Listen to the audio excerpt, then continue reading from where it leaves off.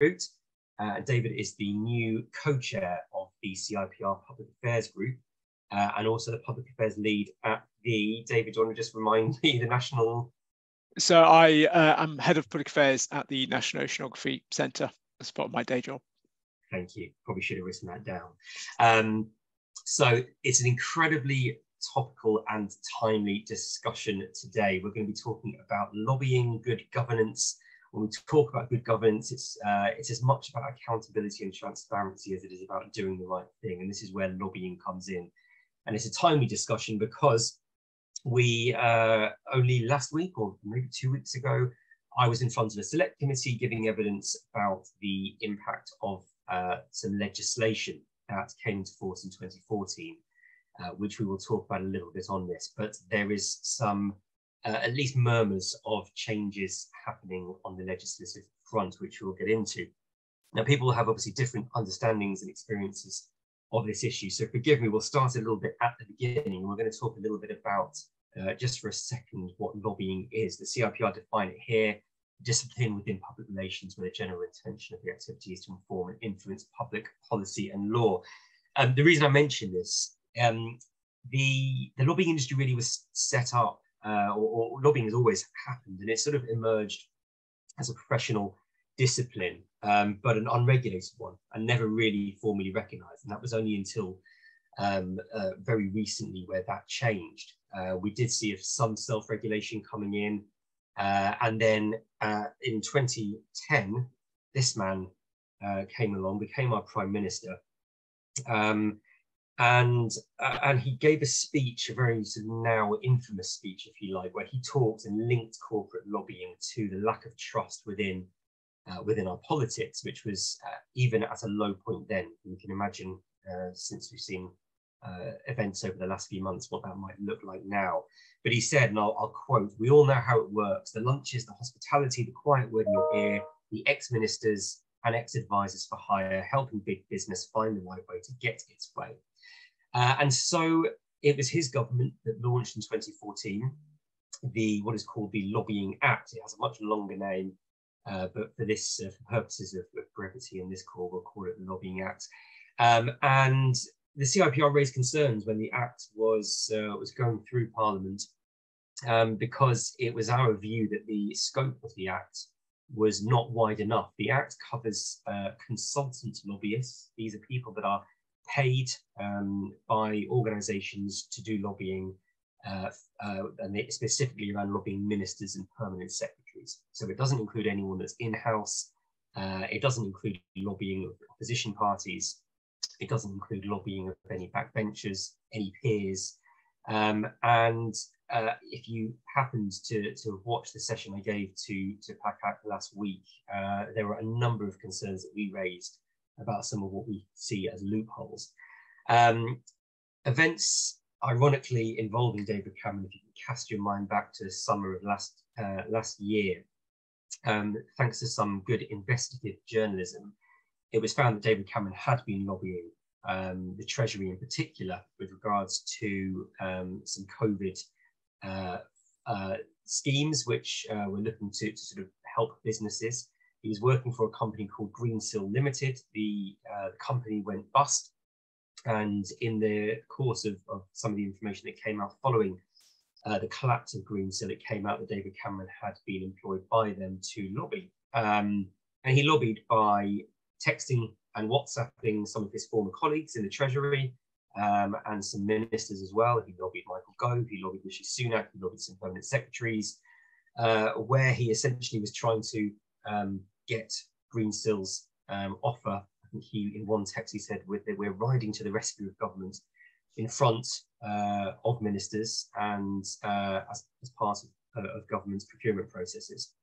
And this kicked off a huge uh, outcry and actually a, a huge number of uh, journalists started looking for other examples of which there, there were sadly many, particularly of ex-ministers or parliamentarians working to lobby uh, on behalf of people that were paying them. The issue, particularly with David Cameron and the case of Greensill, was that he was employed by Greensill. And as I mentioned earlier, in-house lobbyists are not captured under the Lobbying Act. Um, the Lobbying Act includes a register, and no in-house lobbyists are not just required to, they're legally not allowed to register. It is only for consultant lobbyists. So myself working for the CIPR, uh, I am lobbying for a change in law. I am not able to register and uh, acknowledge, be transparent or accountable to the fact that I am trying to, to, to get policy change. And this was the case with David Cameron. He broke no laws, despite the fact that it did seem, uh, well, in certain people's eyes, to be you know, something that was slightly dodgy. He was using his personal contacts to try and influence policy. But legis legis legislatively, there was nothing that he had done wrong. Um, since that particular incident, so now um, a year and a bit on, there have been no fewer than seven uh, inquiries launched, some of you by the government. So the third one, the Public Administration and Constitutional Affairs Committee, which I gave evidence to the other week, is an inquiry set up by uh, the then government, the Boris Johnson government, um, who also looked into setting up an independent inquiry, which became the Boardman Review. Um, the Treasury Select Committee, uh, Public Accounts Committee um, have all looked at it, and you've also had the Committee on Standards in Public Life, who wrote a report looking at a number of issues regarding standards within um, uh, within Parliament, uh, including lobbying uh, and the national orders as well. The, the key here, this is really in terms of laying out the legislative landscape, is, is that there are now a number of different voices coming from within and around government suggesting that legislation is not fit for purpose and that it needs to change, which completely reflects the view of the CIPR. It was the view that we had at the time of the Act going through Parliament, and it was the view that we still hold today, which is why we're calling for a complete overhaul. Um, at the same time, you've also got uh, a national security bill going through Parliament, which will include a foreign uh, lobbying register, so foreign influence uh, lobbying uh, parliamentarians in this country. Uh, and the Welsh Government are also looking at introducing a lobbying register. One already exists in Scotland, which came into force 2017 2018. Um, you can see here, this is an extract from the Boardman Review. There are some quite strong recommendations here um, so if you are a lobbyist and you're employed by more than one organisation, which in the case of David Cameron uh, was the case, they, he recommends that that would need to be registered. Uh, also removing the exemption for those not registered for VAT. That's one of the loopholes that we identified in the Lobbying Act. Currently, you need to be VAT registered. So anyone doing lobbying under £85,000 has no need to register, which is quite a significant loophole. If you think about one, the amount of lobbying that you can do for that much money, um, or secondly, as I raised in the, uh, the, committee hearing, there are some examples we've heard of, not many, but where um, organisations have asked their lobbying firms to bill them in different times uh, of the year so that they can potentially avoid having to register. Boardman, which is the uh, inquiry set up by uh, Boris Johnson, has recommended that that changes. Uh, and if you look at this uh, extract from the CSPL Standards Matter 2 report, um, it's a pretty damning indictment on the uh, on the state of lobbying in this country. Um, another point that I had made was the fact that lobbying registers exist internationally uh, that do include in-house lobbyists. And when uh, there was an OECD report that looked at 22 registers, 18 of them include in-house lobbyists. The Westminster Register is one of four. So when we're talking about good governance, both from an organizational point of view, but also from a parliamentarian point of view, we're not really um, doing as much as certainly other areas, uh, yes, including USA, including Canada, including the EU, but also a number of other countries um, across the EU and across the world that are clearly doing far more when it comes to um, declaring uh, the, the, the, the, very good work that lobbyists do to influence and inform parliamentarians and policy decisions. Um, this stuff, uh, yeah, this stuff really matters. Um, I'm going to hand over now to David to um, to explain a little bit more detail about ethical lobbying um, and why, from his organisational point of view and from the CIPR Public Affairs Group's point of view, it's an area that we're giving some um, some focus to. David, I'll hand over to you. Thank you, Jon.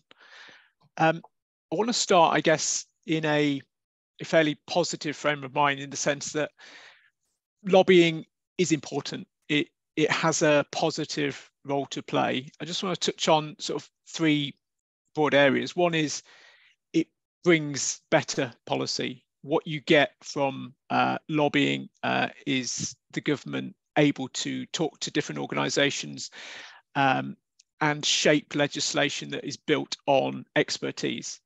So that's the first thing I'd, I'd say. Secondly, um, it allows government to take in a range of views. Uh, there may be organisations that they have spoken to previously. It may be new organisations. It may be different types of expertise uh, that they are listening to and different problems that they're hearing. Um, it really helps uh, government to form the legislation that, that they require. Um, and thirdly, it builds trust between organisations and ministers. Um, so important, particularly uh, if you're a new government, you're reaching out to organisations, actually having those conversations is helpful for that relationship building. It's helpful to build that trust uh, that we need in a, a democracy.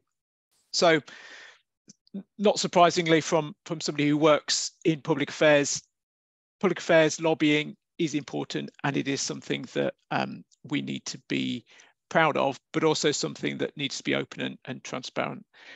What you get from these stories here are a number of uh, scandals where um, lobbying is in the news for the wrong reasons. Uh, quite often the public will only hear about lobbying when uh, it's related to uh, a case where lobbying has gone wrong or there has been a case of uh, behavior that is not um, not appropriate.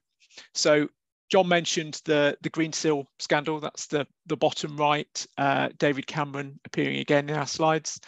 Um, the others uh, relate to serving politicians, former ministers, current ministers. Um, the other one I'd mentioned was uh, Michelle Mone, which is the PPE one uh, in the bottom uh, middle. Um, so the Tory peer who lobbied a health minister to get onto the uh, VIP lane, so-called VIP lane for uh, PPE during the pandemic. Um, again, these are all uh, areas where these weren't consultant lobbyists. So the regulation that Jon touched on actually wouldn't uh, involve this type of activity. But in the eyes of the public, uh, lobbying has, has taken a hit, and it's seen that those uh, in uh, in power or perhaps former ministers are then using their position. So we'll touch again on that sort of revolving uh, door of, of politicians and, and, and lobbyists, but just to highlight some of these areas where the public notice what is happening uh, and it does show that that lobbying uh, matters and transparency and trust matter a huge amount as well. Um, next, next slide, please, Jon. So we the CIPR uh, did a poll um, last year uh, to look at the um, ethics of public affairs, where the public are at at the moment. So the first one I highlight is 67% of UK adults feel the public should know more about lobbyists. So so there is that sense that people only know about lobbying uh, and lobbyists, what they do with ministers and uh, MPs when there is a scandal. So actually, there is that desire to know more about, about the industry, what we do on a day-to-day -day basis. 59% um, of uh, businesses um, sorry, 59% of the public believe that businesses, organisations such as charities, trade unions, pressure groups should be able to meet with MPs and ministers uh, to promote their ideas. Going back to what I said earlier, lobbying is important. Uh, the role that listening to organisations has to inform better policy is really crucial in a, in a democracy. And we see that the public appreciate that and recognise that. So 52% believe lobbying can help create better policy and better law. What we see uh, at the bottom is 15% um, believe the public currently has, uh, sorry, 15% believe the public currently has enough information about who is lobbying. So that's incredibly low. Uh, the public doesn't have a sense of who's lobbying, what they're lobbying uh, about. So what you get from those figures is a sense that yes, the public recognises lobbying happens and it's important, but actually it's not transparent enough. It's only visible when there is a scandal, usually involving a, a sitting member of parliament or a former minister. Uh, next slide, please, Jon. Um, so what we've done at the CIPR as part of our code of practice. So as a member of the CIPR, if you are involved in public affairs, you're asked to sign up to our uh, code of practice. So within that, we have 10 behaviors uh, of ethical public affairs practitioners. So the first one, when you're meeting a minister, you're meeting an MP, you're open about who you represent. Now, if you work for a consultancy, uh, that would mean um, making it clear that you are there on behalf of a client, but being open about uh, about who you are, what your uh, what your purpose is, is really crucial as a starting point. Secondly, do not attempt to mislead politicians or stakeholders. Hopefully that is um, fairly straightforward, uh, but not to use information in a way that is uh, is done to mislead a minister. Um, providing accurate and true information. So making sure that the information you provide to a minister uh, is, is accurate, it reinforces the points you want to make, but at the end of the day, it is uh, factually correct. Four, do not offer bribes or inducements, um, particularly uh, the case for those operating in different jurisdictions across the globe with different rules and regulations. Actually offering bribes is never the right thing to do, uh, regardless of, of jurisdiction. Respecting confidentiality, I think this works both ways. So respecting what the minister uh, tells you about government business, but also uh, ensuring that the minister uh, does not then divulge the information that, that you uh, perhaps pass on uh, regarding commercially uh, sensitive information, perhaps. So respecting confidentiality is really crucial. Respecting rules and regulations of government and institutions. Hopefully that, again, is, is fairly uh, basic when you come to public affairs practice, but making sure that the rules and regulations are followed in everything that you do as a practitioner. Number seven, respect the public's right to know about lobbying activity. We'll touch on this from a, a CIPR perspective in a moment, but but making sure uh, when you're doing what you're doing as a public affairs professional, actually there is a uh, a public interest element to what you're doing, and the public has a right to know. So whether you're on the register of uh, political consultants or whether you're in-house, actually there is a, uh, a public reason why the public wants to know about what you are doing. Uh, so uh, that is certainly part of our code of behaviour. Number eight, respect rules and codes around employing politicians. Um, we've touched on this with, with David Cameron and, and Greensill. From a CIPR perspective, we certainly believe there should be uh, a greater gap between when a minister steps down and the chance for them to then join a uh, an organisation to lobby uh, the government on their behalf. Um, at the moment, it's it's fairly uh, it's fairly loose uh, as much is within this space, but actually there should be uh, a greater gap to stop that revolving door that we've seen in previous years, which uh, adds to many of those um, scandals that we've highlighted earlier. Um, managing and avoiding conflicts of interest. Um, this is always uh, crucial. Um, so making sure uh, when you're meeting uh, that you're meeting on a particular purpose uh, and, and making sure that um, you are clear about what you're doing and that there are no conflicts uh, of interest uh, in those conversations and in those interactions.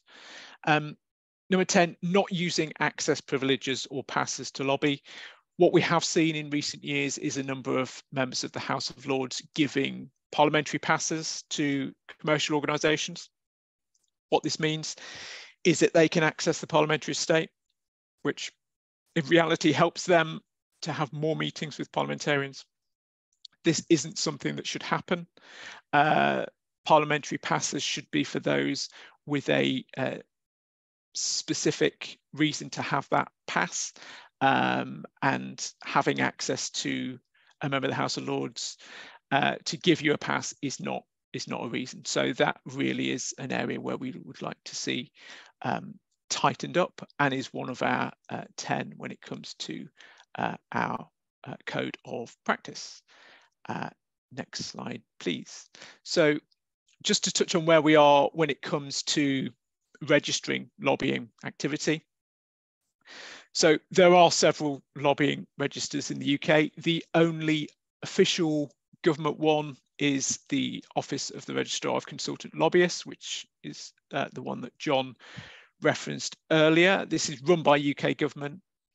Um, it is legally required within those parameters that, that Jon set out around uh, being a consultant lobbyist and meeting the VAT threshold as well. Um, the, the times that consultant lobbyists need to uh, add in information is also quite restricted. So it's when um, ministers are contacted or permanent secretaries. Uh, so it is quite a defined uh, register in its current form. And there are costs associated with that as well. Perhaps a more expansive register is the Scottish Lobbying Register, run by the Scottish Government. That includes lobbying of all MSPs, uh, Scottish Cabinet Ministers, uh, SPADs, which are special advisors, uh, and senior civil servants as well. Uh, and there are no costs associated with, with that one touching on the CIPR's uh, register. So we launched the UK lobbying register. Uh, it's not legally required. We do ask those who join the CIPR and work in public affairs to sign up. Uh, also, for those who are not members, there is the option to sign up to the register as well. Um, it's for everyone. So it's not just for consultant lobbyists, it's for those working in-house as well, like myself there are no costs associated with it as well. So what we hope we've created at CIPR is an open, transparent register that uh, will allow for a better picture of the industry to be uh, to be shown and for those in the industry to really show that they are committed to transparency. The fourth one on this list is the uh, Public Affairs Board by the PRCA. Um, again, not legally required uh, and also open to uh, all organisations to join with a cost uh, associated to that. So what you see is quite a range of uh, registers um, and as Jon touched on earlier, there are so many constraints with the current um, consultant lobbyist register that actually the CIPR felt the need to create a, a more uh, expansive register to show um, those in the public affairs industry are operating at the highest uh, levels and with the highest um, ethical standards. Next slide, please. Um, so what are we at the CIPR calling on the government to do? Well, we within the um, CIPR's public affairs group uh, had a a, a look at this uh, last year and put together a, a paper on what we would like to see. So the first one is a registration of more lobbying activity, covering a wider scope and more lobbyists. Um, what we know from the current setup is we are only capturing a small fragment of lobbying activity by the term we, I'm saying that the government uh, register as it currently is framed really is just capturing consultant lobbyists. What we're not capturing is lobbying by law firms, management consultants, and those working in-house. Um, what we would like to see is the registrar of consultant lobbyists to become a registrar of lobbying. So the word consultant within this uh, regis register is so limiting. So it doesn't include David Cameron working for Greensill. Uh, it, it doesn't uh, in, include Baroness Mone uh, campaigning on behalf of her own company. Um, it doesn't include those working in-house. It really is a, a constraint on the current uh, register. So we would like to see that uh, changed and the, uh, the register expanded. Um, what we know in public affairs is that it's always changing.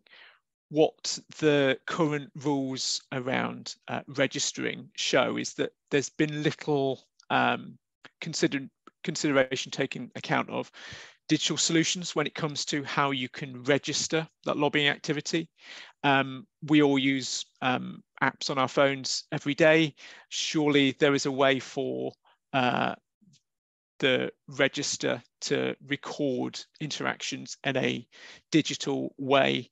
Uh, and that also goes for the publication of ministerial diaries as well. So using uh, technology in a better way to increase the types of information that we have uh, and making public affairs more transparent, we think is really important.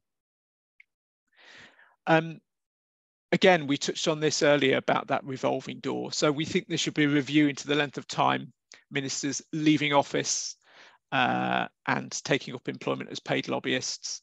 Um,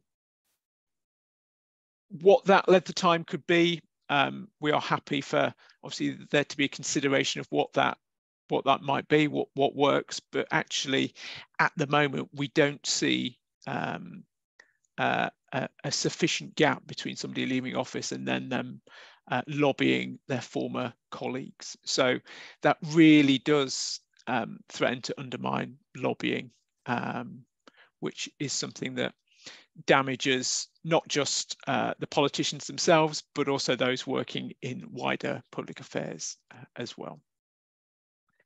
Um, and lobbying regulations need to be reviewed more regularly. Um, at no less than five year uh, intervals. Things change. Uh, the way uh, people lobby changes as well. Um, something that we checked in with the registrar recently was the use of WhatsApps and whether they are included within the definition of electronic communications to ministers and uh, permanent secretaries, which they are.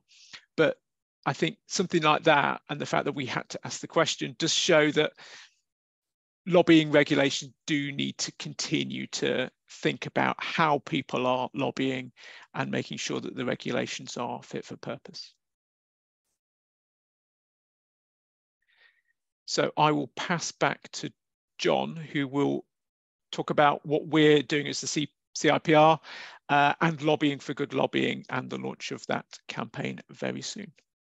Thank you very much, David. Um, that was excellent. And we didn't even rehearse changing those slides, but I think we ended up doing that quite well. Um, yes, so as David's pointed out, there's a lot of reasons as to why we think that the, the state of the legislation as it is uh, is not fit for purpose. And as he very clearly outlined uh, earlier, what we are calling for. Um, as I explained at the beginning, there is some suggestion that things will change. Now, it's true that the government um, that launched the inquiries, the Boris Johnson government, um, was a few governments ago. Um, we we haven't had great interaction um, with any of the two previous, uh, well, with the current or the previous administration for obvious reasons. Um, but it's an area that we don't want to let go, and it's clearly an area that is continue to continuing to sort of drive front page stories, as we saw with the uh, with the Lady Mone story, and uh, and undoubtedly journalists are still looking for those stories. So I can reveal today, exclusively, if you like, that we are in the next couple of weeks launching a new campaign called the Lobbying for Good Lobbying campaign, and we would be delighted if everyone here was to take part and participate, uh, join in, show their support for it. We are launching um, it in Parliament on the 13th of December um, my colleague Liam may be able to put the link.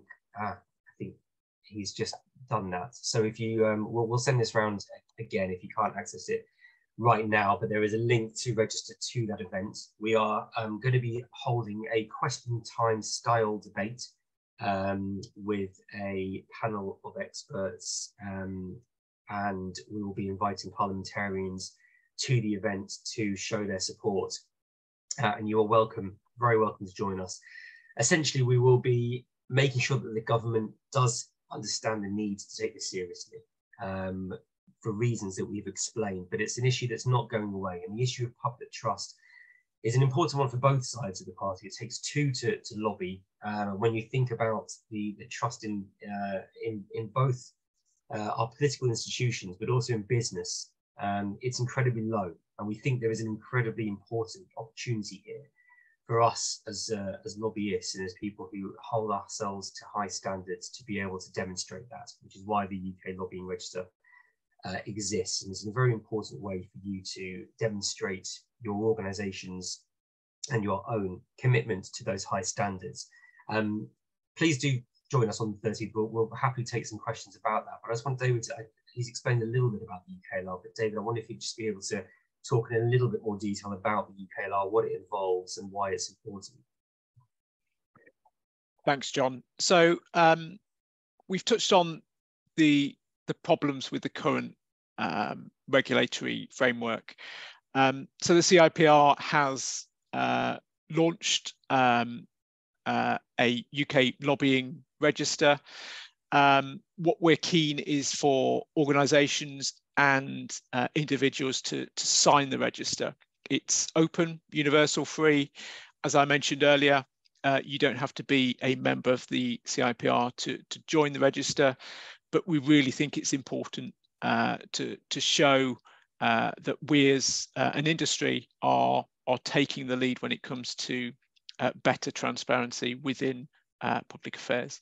So we think that being on the UKLR highlights three things. One is it shows that you're accountable to a recognized industry code of conduct.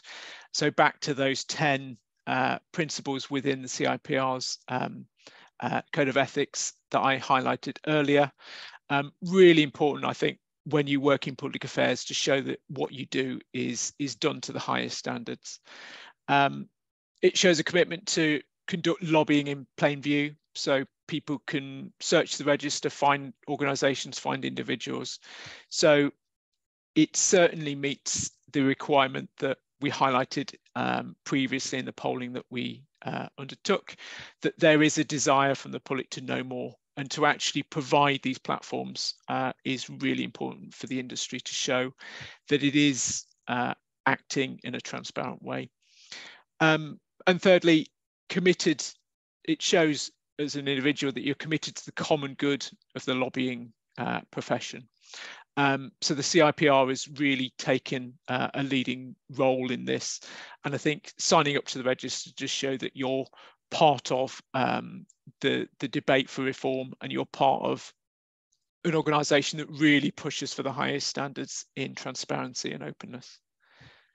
Um, and I think, Jon, we're probably at the end. Happy to pass back to you and obviously happy to answer any further questions that anyone has. Yeah, absolutely. Thank you, David. Just on that UKLR point, so uh, David made, made it earlier, but I'll hammer it home. It is a requirement. Any CIPR member that is engaged in lobbying activity or conducts lobbying activity is required to, to register to it. Um, but it is open to anyone, and anyone that isn't a member immediately agrees to sign up to the CIPR Code of Conduct, um, which means that they can be removed from the UK lobbying register should a complaint be made.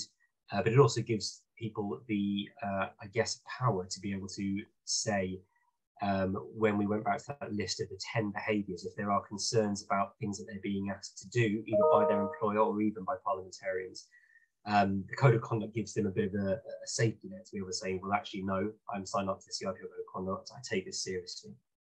Um, again, my colleague Liam has just put the link to the UKLR in the chat. So do have a look um, and please get in touch if you have any questions about it. One, whether you uh, think you should be on it, uh, or two, if you have any concerns or queries about registering yourself and or your organization. Um, you'll see um, uh, some links here, including ones to the UKLR, which might be uh, of interest. Uh, it also includes a link to our policy position on lobbying. Um, I can see one question in the chat. I'll quickly jump into that and just ask anyone that is or does have any particular questions, whether it's about what's coming up with regards to, um, to, to the various inquiries that we spoke about before, um, whether it's regarding some of the details about what we're asking for, whether it's about the launch of the campaign uh, or UKLR, do feel free to, to drop them in or just even feel free to share your thoughts. Um, David, thank you, uh, Dave, excuse me, thank you very much for your, um, your question. Uh, so you've asked about how in-house lobbyists would be defined. Um, I'll just read the question, but for example, would it be everyone who works in a government affairs team? Would it include the MD who attends events or senior leaders who has external responsibilities? Uh, great question. For the purposes of the Lobbying Act, um, the definition of an in-house lobbyist includes all of those examples. Essentially, is it is anyone on the payroll of an organisation. If uh, a consultant lobbyist uh, in, in, is defined otherwise as someone who is um, not uh, on the payroll, but is brought in as a consultant, as a third party, um, is the language that's used within the Act.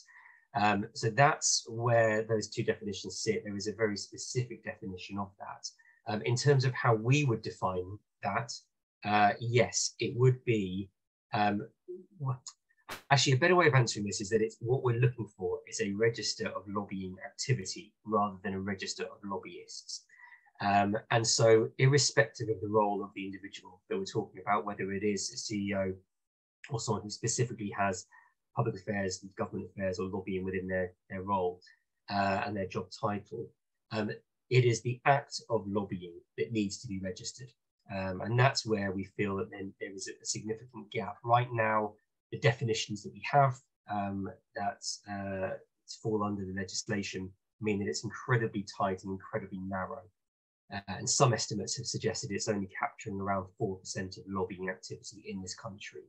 And as I explained earlier, when you look at uh, other, um, certainly other developed democracies, um, we are an outlier in that respect. So we are looking to capture the lobbying activity rather than simply just um, the lobbyist. Put it another way, we have the, the, the registrar, which is the uh, office of the registrar for consultant lobbyists. We want to take the C out of that, uh, take the consultant out, and it just become the office for the registrar of lobbying. So I hope that helps. Um, uh, unless there's anything else, we hope uh, one that we see you on the 13th. Uh, if you aren't able to attend, I appreciate it's in London. It just so happens that the train strike and the small matter of a World Cup semi-final on the same day. Um, but if you are able to attend, we promise you a very good evening. Uh, but beyond that, you will hopefully see a lot more from us uh, with regards to that campaign in the next uh, in the next few months as well. Uh, thank you very much, Rachel. Thank you everyone very much for joining us. A huge thank you to David for taking time for uh, presenting today. If you have any further questions, um, feel free to drop us a line um, if you don't want to, to, to talk within this conversation uh, and want to take it offline, that's absolutely fine. Uh, we look forward to speaking with you all and hearing from you very soon. Thank you very much.